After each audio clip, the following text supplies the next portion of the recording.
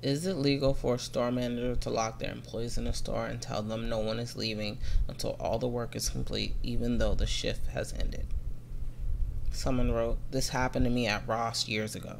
The store closed at 9 on a Sunday night. The manager was informed there would be a visit from corporate the next morning, so everything needed to be cleaned.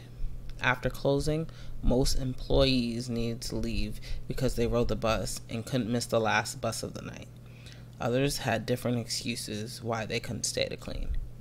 I felt bad for the manager and stayed to help him clean the store. When 11 came, I told him I needed to go because I needed to be at my main job at 8 a.m. He said I need to stay because I drive a car. That is not right, just because I drive. He locked the door and wouldn't let me out. I kept cleaning at 3 a.m. I told him if he doesn't open this door to let me out, I was going to call the police. He then opened the door and told me I was fired for leaving without permission. I told the store manager the next day and he was suspended. Good for you. Now let's see what people in the comment section have to say. Tim says no matter what, an employee cannot lock you in the store or prevent you from leaving. Call the police next time. Joe says, yeah, called false imprisonment. It's kidnapping if you get moved to another location. Steve says, I think in some states it's still kidnapping without the need to move someone.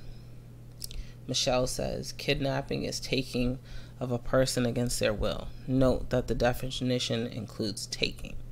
False imprisonment is the unlawful violation of a personal liberties of another. One can be guilty of both if kidnapping results in holding someone against their will after the taking. Wow, that's very interesting.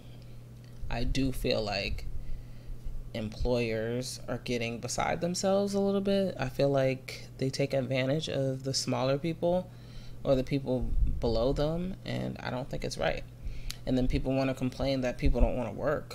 well, this is another reason why. You take advantage of the people that do work, the people that do go above and beyond their jobs. Just saying. But let me know what you guys think in the comment section below.